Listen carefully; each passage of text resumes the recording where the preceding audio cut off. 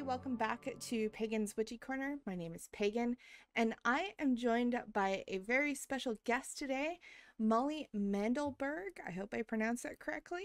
Yeah. And she is the host of the Tactical Magic podcast. So, Molly, welcome to the show. Hi, thanks for having me.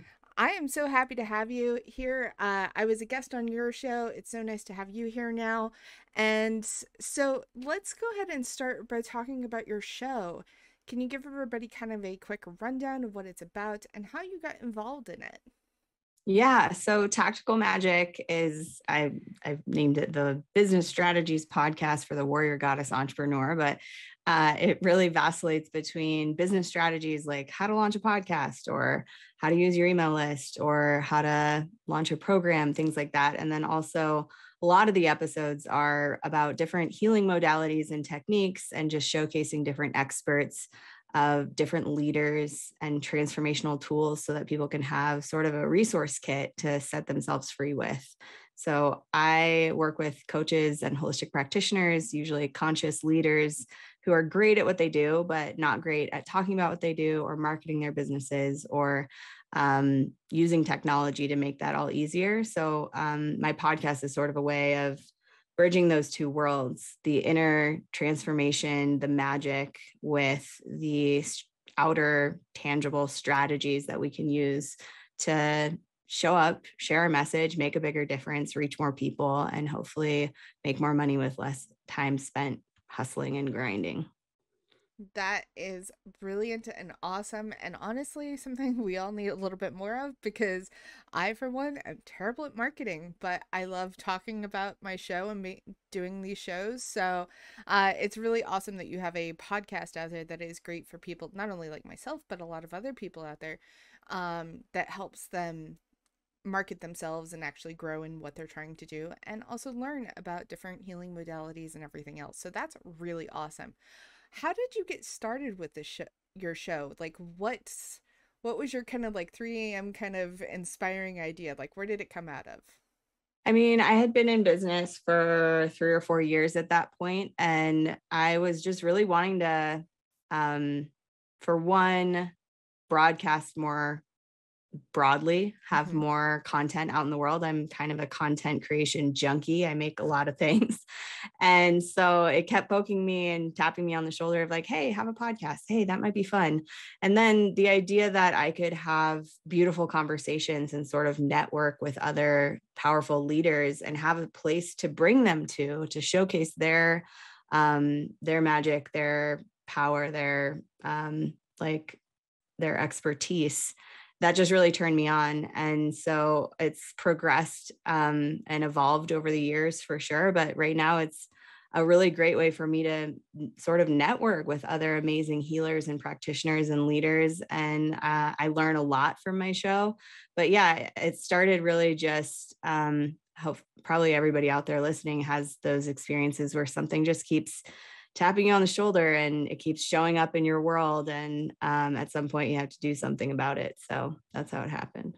You know those kind of moments i call them the divine inspiration moments where yeah. you, you end up with the, that idea that just won't leave you alone it's like oh, i should do this thing. I could do that. That's a fun thing. And then lo and behold six months later you end up doing that thing because it yeah. won't leave you alone. Uh, so that is really amazing. Now you also have a book out. Is that correct yeah, I actually published two books this year, but oh, one wow. of them is uh, nonfiction and the other is a fiction novel that is, uh, yeah, a little less related to what we're talking about today. That's totally okay. I mean, I I have fiction books out there myself. I I've worked on some nonfiction stuff, but I have ADHD, so my brain tends to not focus so much on the nonfiction, but the fiction is very easy for it to follow because it's exciting and fun. Uh, but yeah. let's talk about both your books. Tell me about your nonfiction one, or whichever one came out first, and then we'll come talk about your newest one, whichever one. Yeah, I published them in the reverse order, so that's kind of a confusing question to, to follow. But I'll give you both. The, the novel I wrote was uh, is called The Great Rucksack Revolution and that's a lot of my own stories from traveling all over the world and then mm-hmm. put into a fictional plot so it's a little bit of a spiritual odyssey uh, travel log and um, sort of a it's about nomads, people who travel nomadically and build community wherever they end up. And um, yeah, it's pretty fun. It's kind of a dystopian, apocalyptic, happy ending, but it's got a nice love story and a lot of spiritual mojo in there. Um, and I just, after publishing my nonfiction book, I realized that one should just get off the shelf because I haven't worked on it in like five or six years. And it's in my younger self's eyes it was complete so i decided to just self-publish that one so it's on amazon too but the nonfiction book that i did like the whole launch for and did the amazon bestseller magic trick with um, that one is called wild hearts rise up and that's the same name as my business mm-hmm. and that's really uh, there's this framework that I kind of unpacked that has five cards from the major arcana of the tarot, which are the Fool, the Magician, the High Priestess, the Empress, and the Hierophant. And I was studying the major arcana because I wanted to use some archetypes for a quiz I was making for my business, which for any business geeks out there, quizzes are like the hottest lead magnet you can create. I grew my list like wildfire. I think I 14x my email list in two years with that quiz. But as I was looking at those archetypes, I had a friend tell me that they're the major arcana of the tarot is actually related to the Kabbalah, which is the tree of life. And the points on the tree of life, if you know what that looks like, it's sort mm-hmm. of a mm-hmm. sacred geometry, kind of like the flower of life, but just in a pillar, sort yep. of. That those points are related to the cards from the major arcana, and that that is basically a map for how an idea becomes manifest, how something goes from the ethereal, energetic, inspiration realm down into being created into physical reality. So that can be how a baby gets born, it can be how a piece of art gets made, how a book gets written, how a business gets built.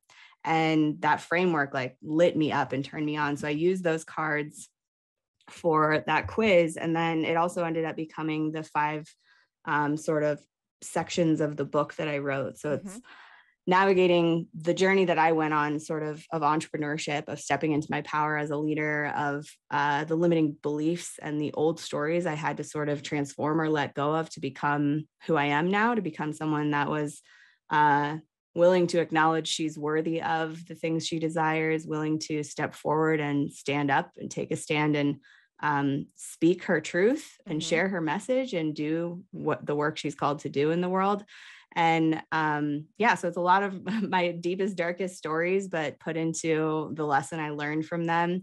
And the five sections of that framework i'll just sort of share it with you. The fool is about boldness. It's about having that idea or inspiration and not knowing how the heck you're going to move towards it but taking that leap of faith that step forward into the unknown and sort of moving in a direction that maybe you didn't think you were going to move in before. The magician is about resourcing yourself. So recognizing that there are tools that you can master and like acquiring that uh, skill set and sort of studying and learning and expanding into that magic. And the high priestess is that alignment phase of like, hey, I've started moving this direction. I'm exploring this. Does it still feel good to me? Is it still feeling like I'm on my path? Um, or is there a little like course recorrection I could be taking right now. And then the Empress is my favorite phase. It's the creation phase where the mother of new ideas, we actually birth things into the world. So that's when the actual book gets written. That's when the business gets created. That's when a lot of the rubber meets the road, so to mm-hmm. speak. A lot of the productivity part happens. And then the Hierophant is the one who sort of brings that knowledge back to the people. They've gone on this adventure and learned these things and mastered them and tried them and brought things to the world. And now the Hierophant comes back and is sort of the orator or the messenger that delivers the lesson to the people of how it went. Wow, that is an incredible thing. I will definitely have to get copies of both those books because your fiction one sounds epically awesome, as well as your nonfiction book. They both sound like incredible incredible stories that you need to definitely check out. So, everybody who's listening to the show, there will be links in the description. So, don't worry, you can pause the show and you can go buy your copy right away and then come back and finish the episode. So, there you go. Thank you. Uh, the, you know, you have uh, talked about these beautiful ideologies, especially with your nonfiction book. Um, have you got any other projects that are in the works that a you can talk about and b uh, that you'd like to promote and kind of uh, push forward into the limelight for people to be looking forward to Yeah, definitely. I love that you asked me this question and we're on your show because my most beloved program, I've I've created dozens of courses, not including all the courses and programs I've helped my clients to build and create. But um, there's one that is like my heart and soul, my favorite creation.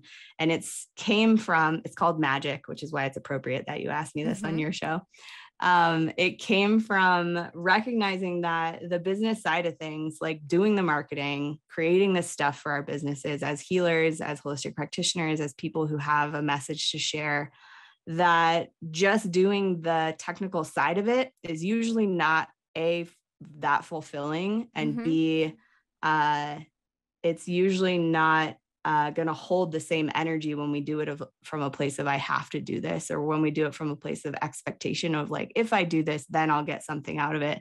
There is such an energetic component to marketing that um, I have just like a deep passion to share and to help people kind of alchemize into, mm-hmm. kind of recognize yeah. that it's there and then begin to embody and then make it part of their life and their business.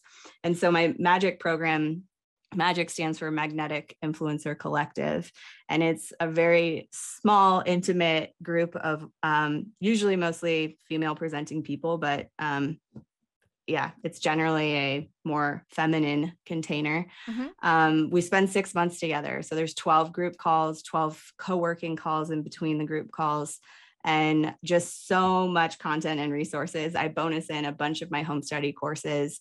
Um, everybody who joins the program gets private coaching with me too. So it's kind of a hybrid between a bunch of home study resources, uh, which we call DIY courses, mm-hmm. and then done with you where we do a bunch of work on the group call and then also the private coaching attention where you get to sort of supercharge whatever you're working on with my guidance and my question asking and helping you sift through all the things you want to create.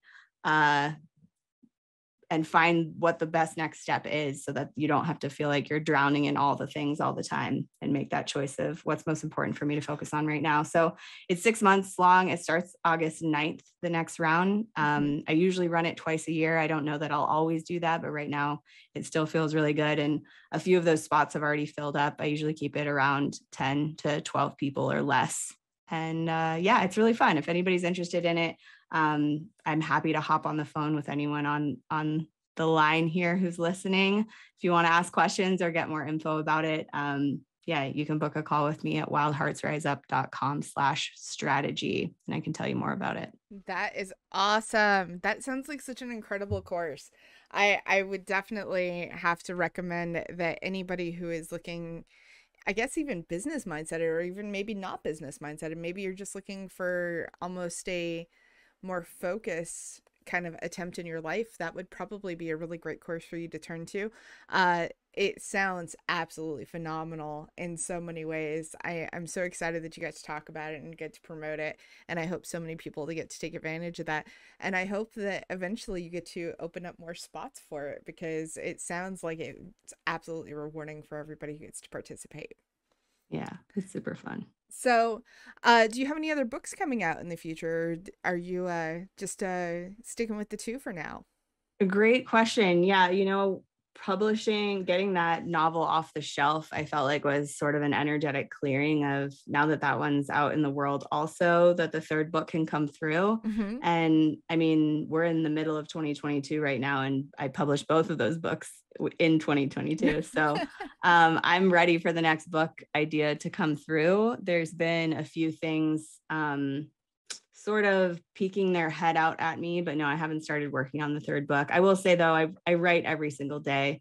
I write in the morning before I get out of bed. I write at night before I fall asleep. That's sort of my spiritual practice and my mental health um, necessity. And so uh, it's usually in those pages that new chapters or ideas start to come forward, but it could go a lot of directions. I mean, uh, I have things that I'd like to talk about that maybe aren't on brand for my business or in my niche or whatever, but um, that could come through. The the other thing that could happen sooner, my I have two podcasts. Tactical mm-hmm. Magic is the one that I have guests on, and then I have another podcast called Reveal the Game of Life, which is my friend Chris Tomaso and I, my co-host, uh, just having conversations about consciousness and having um, sort of revealing what this game of life is all about and how we can play it best and get the most out of it.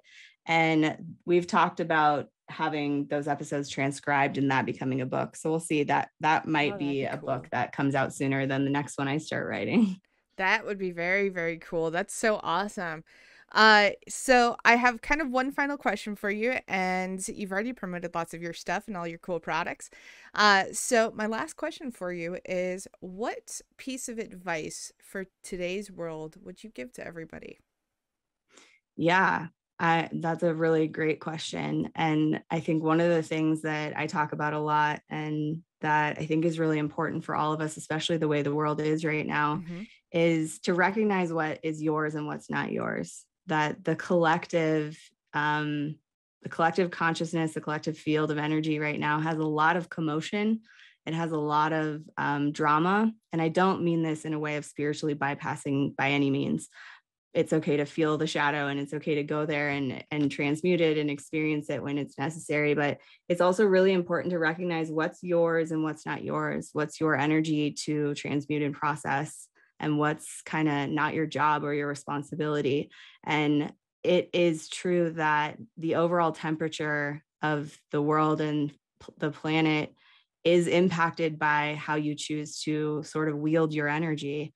Um, so to find things that make you feel joyful through whatever you're going through and whatever the world is going through, to find um, your like energetic set point and the places of bliss in your life that actually does contribute to the chaos. It contributes to the overall temperature of insanity versus joy on this planet. So mm-hmm. don't discount those moments. Don't feel like you have to stay sad. Be willing to have a fulfilling and eh, self expressed and happy life, no matter what else is going on around you. And it's really okay to do that.